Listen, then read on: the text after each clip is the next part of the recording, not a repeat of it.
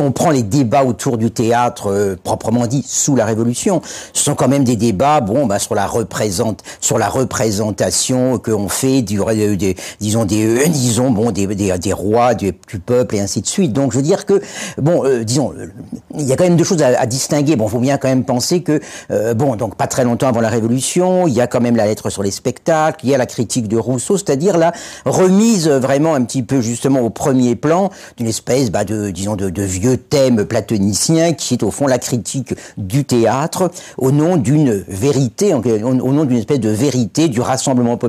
du rassemblement populaire ou de la fête populaire. Donc je crois que bon, bien sûr, justement, il y a, toute une mise en scène que l'on peut dire théâtrale, euh, bon, de, disons des fêtes, euh, des fêtes révolutionnaires. Euh, mais justement, je dirais dans une espèce d'écart par rapport au par rapport au théâtre, ou au théâtre où effectivement, disons, je ne crois pas qu'il y ait d'auteurs d'auteurs révolutionnaires qui se proposent ce qu'on se proposera justement beaucoup plus tard. Et je pense que c'est quand même plus tard,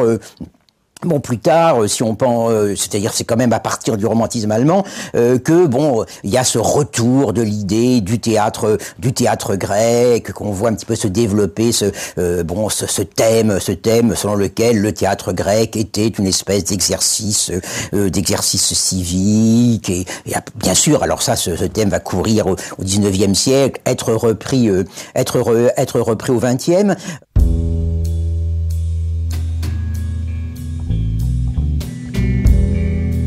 C'est surtout au XXe siècle, je pense qu'on voit effectivement avec bah, toute une génération un petit peu de, metteurs en scène, bon avec Meyerhold, enfin génération, ils sont pas du même âge, enfin en tout cas entre le temps de Meyerhold et celui de Piscator, on voit véritablement le théâtre en quelque sorte essayer comme de, bah, de, de réunir bah, de, de, réunir un petit peu les, les, deux bouts de la chaîne, quoi, à savoir euh, la vraie cérémonie populaire et puis par ailleurs le lieu théâtral, avec cette idée effectivement, bon, bah, qu'on va transformer, euh, euh, qu'on va transformer la, la scène, qu'on va, va, transformer l'espace théâtral, abolir tendanciellement la, la, la, différence entre le public, entre entre le public et puis la et le spectacle. Et c'est à ce moment-là, effectivement, que se remet un petit peu, euh, euh bon, effectivement, euh, au premier plan, euh, la critique du spectateur.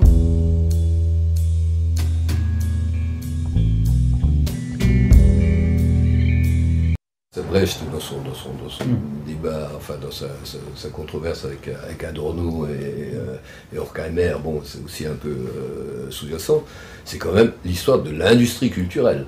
Là, il est quand même confronté à ça aux États-Unis. Il comprend, il comprend, il comprend ce que c'est. C'est-à-dire que bon, il y a certes, euh, comme on disait autrefois, les appareils d'État culturel. Enfin, je sais pas comment il faut dire ça sous les nazis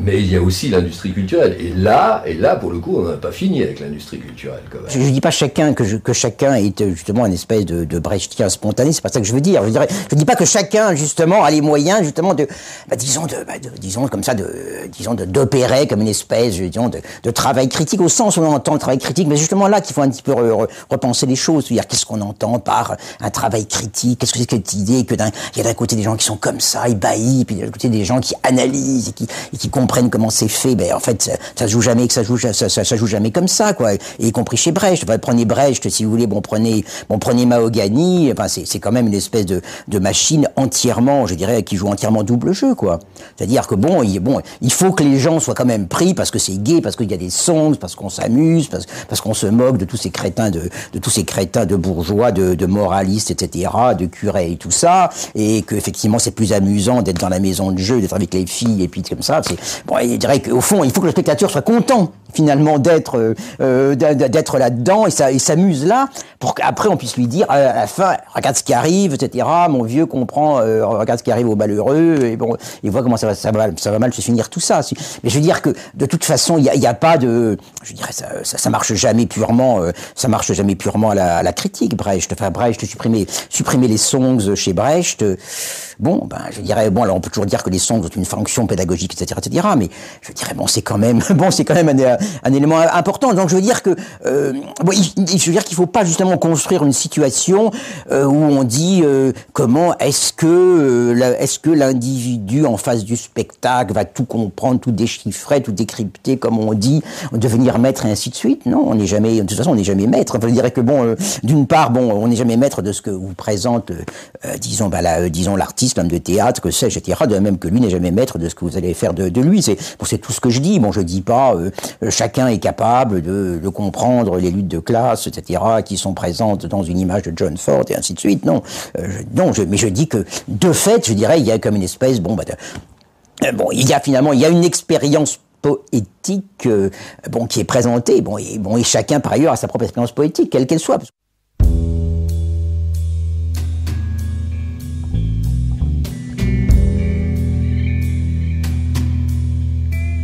Il faut bien voir que, d'une certaine façon, tout le monde veut capturer le, désir du spectateur. Enfin, je dirais l'homme de théâtre aussi. Bon, veut capturer le, désir du spectateur. Bon, là, l'artiste, etc. D'une façon, je veux dire que là, je veux dire qu'il s'agit justement de, je dirais, de, bah, de distinguer, je dirais, de distinguer, de distinguer, de distinguer des captures, quoi. C'est-à-dire, parce que ça, c'est trop simple, effectivement, de dire, euh, bon, il y a un côté où on capture, où on englue, où on aliène, et puis un côté, ben, où nous, euh, bon, où nous, où nous, ben, nous, on libère, on, on forme la pensée critique, et ainsi de suite. Je veux dire que, je dirais, bon, je dirais, euh, euh, la pensée critique, c'est aussi une espèce de, de, statut, une espèce de statut social. Quoi. Je dirais que, bon, euh, le nombre quand même de, bah, disons, et d'universitaires et, et d'hommes et d'hommes de, et d'hommes du monde de la culture et d'hommes du théâtre qui vivent sur l'idée que, bon, bah, ils sont la pensée critique. On doit les salarier comme la pensée critique pour, disons, pour justement libérer les, les, malheureux, etc., de la capture, de la capture spectaculaire. Bon, c'est aussi un élément. C'est aussi un élément. Je veux dire, d'une certaine façon, bon, bah, il faut penser, je dirais, en termes de euh,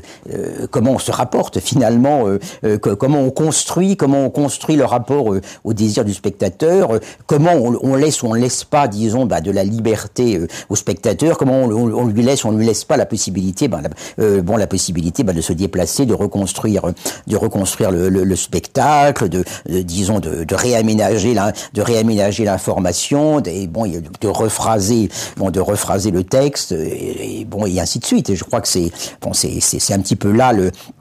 c'est là que ça, ça, devient intéressant, en tout cas intéressant pour bon pour quelqu'un qui pour quelqu'un qui parle, pour quelqu'un qui pour quelqu'un qui parle, pour quelqu'un qui, qui, crée effectivement. C'est euh, disons au fond euh, de bon, ben, comment quelque comment on présente bon sa propre aventure euh, bon à, à, des gens qui soient capables d'en faire d'en faire aussi les éléments de bah, de leur propre bon de leur propre aventure.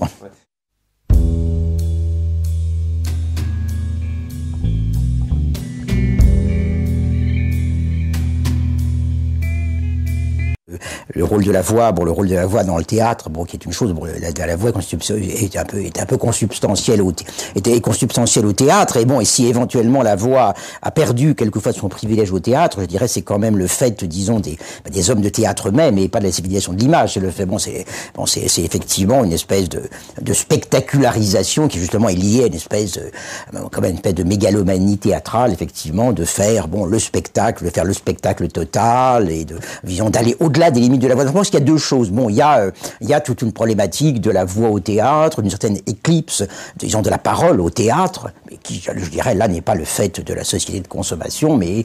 disons, est une espèce quand même vraiment de, disons, de séquelles, effectivement, bah, disons, d'une certaine idée, d'une certaine idée de, de, la mise, de la mise en scène, euh, comme justement du spectacle total. Ça, c'est une première chose. Alors, il y a une deuxième chose, bon, mais alors là, qui, qui, qui bon, qui concerne pas le théâtre tellement lui-même, mais qui est, qui est, euh, bon, qui concerne tout un discours sur l'image, qui est effectivement bon cette espèce de vieille euh, tradition, euh, bon effectivement théologique de bon bah, disons de la lutte contre l'idolâtrie, où effectivement là du coup la la voix devient la, la voix devient bon l'instance de bon à la fois l'instance de la vérité, l'instance de l'obéissance, l'instance du lien justement entre vérité et obéissance, et puis bon l'image devient euh, l'image devient la, bon effectivement le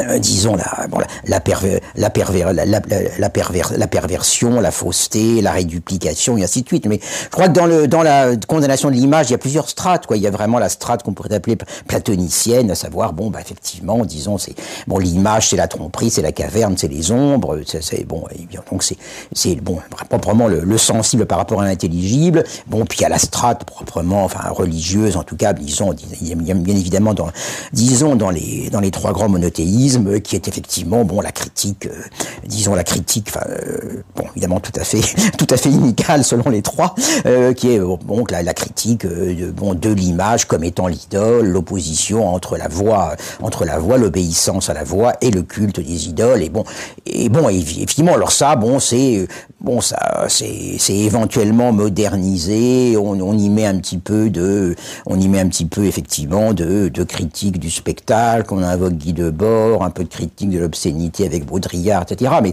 bon, ça aboutit quand même finalement, en gros, à dire que bon, il faut croire sur parole certaines personnes et, disons et, ne jamais croire les images d'autres personnes. Bon, ce qui malheureusement, euh, on voit, on voit malheureusement trop bien à quel point il y a certaines critiques, une certaine idée de l'irreprésentable veut dire en même temps que bon, on pourra toujours vous montrer toutes les images qu'on veut de, disons, de Gaza, ce sera toujours des mensonges parce que voilà, je veux dire, il y a toujours cette espèce de dimension entre la, euh, bon, euh, ce qui par ailleurs ne prouve rien par rapport aux images de Gaza, c'est pas mon problème, je dirais mais on voit bien quand même qu'il y a une espèce de, disons, bon, bah, de, discours qui est proprement le discours, bah, le discours de l'autorité, qui est, disons, vous devez, bah, vous devez croire sur, vous devez croire sur parole. Ceux qui ne croient pas sur parole sont des idolâtres, quoi.